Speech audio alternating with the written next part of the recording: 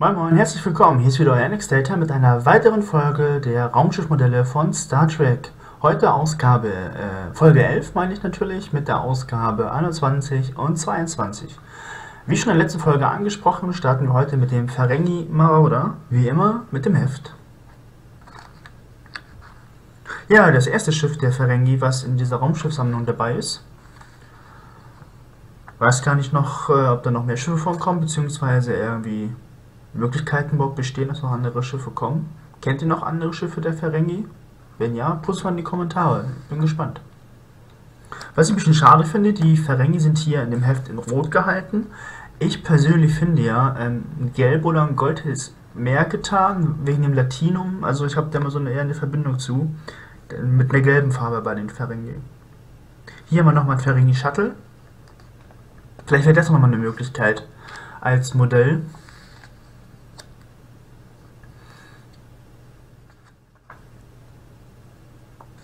Dann haben wir einen sehr interessanten Beitrag hier über die Entstehung der Ferengi.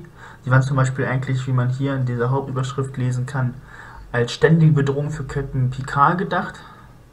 Als Piraten. Okay, ja, Piraten kann man kann man ja so sehen. Wenn Sie Profit machen wollen im Piraterie, Sie, P, na, üben Sie auch Pirat, piratische Tätigkeiten aus. So. Hier nochmal zwei Konzeptzeichnungen äh, der Ferengi. Dieses Design wurde dann nicht genommen, aber das wurde später wiederverwertet. Ich glaube sogar für die Watwur in Voyager. Wenn ich falsch liege, korrigiert mich in den Kommentaren. Hier haben wir das Design des Ferengi Marauders.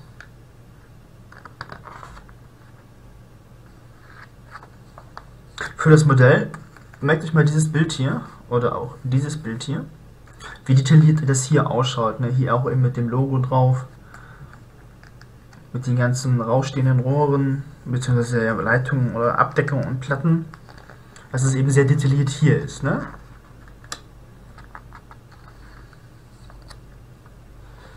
So, und jetzt kommen wir zu dem Modell.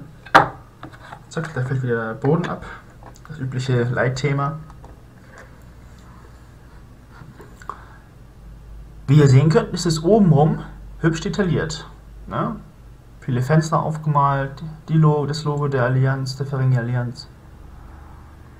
Auch hinten hier der, mit der Antriebssektion. Und jetzt kommen wir zu unten. Da hat man auch zwar diese Einkerbungen, aber nicht so wenn man das ausgeprägt, wie es eben in dem Heft gerade zu sehen war. Oder auch hier zum Beispiel fehlen überhaupt die beiden Logos. Also mir fehlt an der Unterseite einiges an Details. Da hätten sie oben ein bisschen weniger machen können und von unten ja.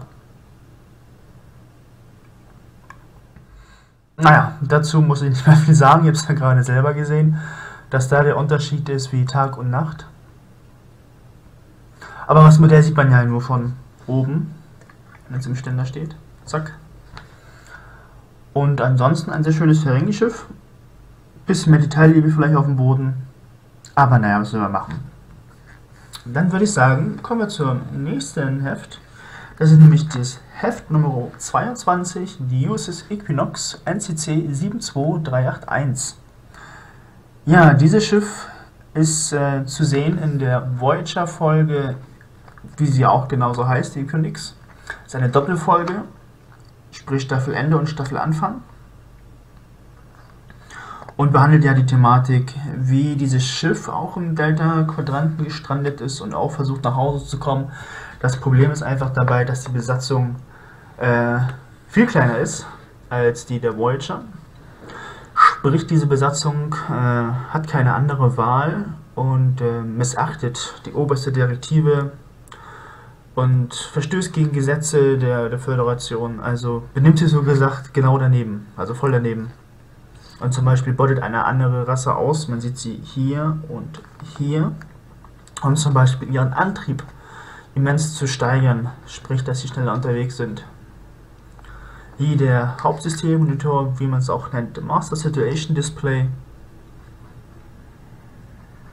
Ja, hat sogar Platz für zwei Shuttles und was wir im Modell auch sehen werden, Und was äh, auch nicht in der Serie zu sehen war, aber bei dem Modell, werden es gleich noch genau sehen, wenn man diesen Bereich hier genauer beachtet, ich versuche es mal ein bisschen näher ranzuholen, das ist ein, ja, wie soll man sagen, ein, ein, eine Captainsjacht.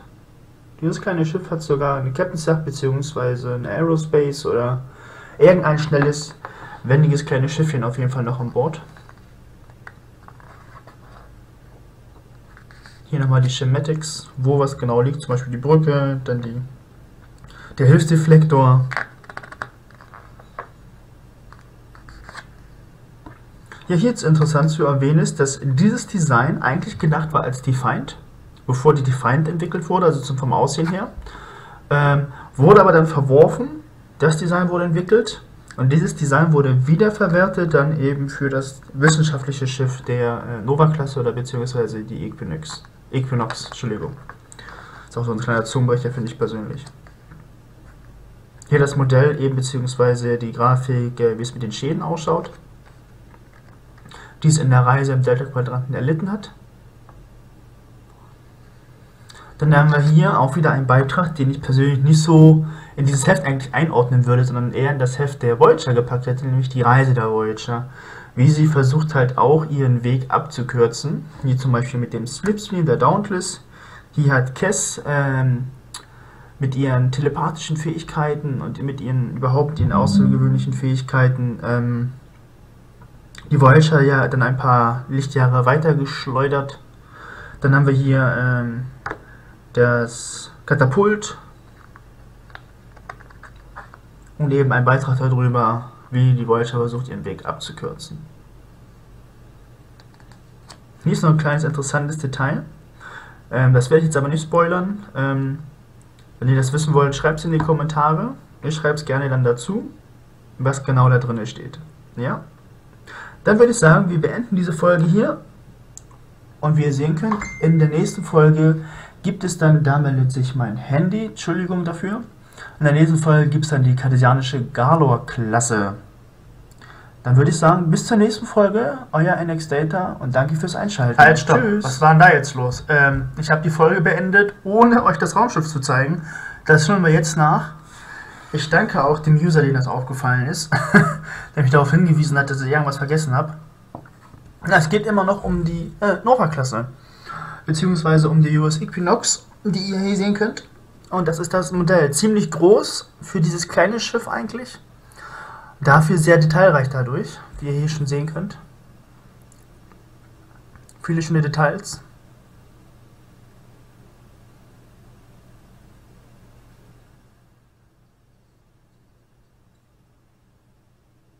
Nochmals entschuldige ich mich, dass das ähm, ja, jetzt hier mit Schnitt gemacht wird. Das nächste Mal achte ich darauf, dass wieder nach dem Heft natürlich auch das Modell zu sehen ist.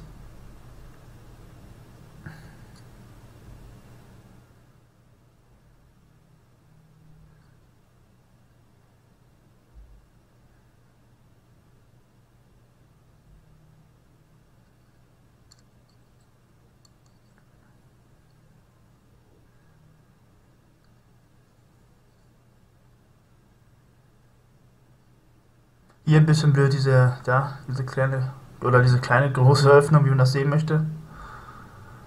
Ist aber jetzt nicht so groß, man kann ja mal gucken. Es kommt daher, weil das hier ein klein bisschen übersteht, beim Übergang von dem unteren Bereich des Modells auf den oberen und dadurch sieht man das dann noch besser. Aber ansonsten ein sehr schönes Modell der Nova-Klasse, beziehungsweise der Equinox. auch hier die Halterung Zack, gleich. Einfach in die Untertastensektion.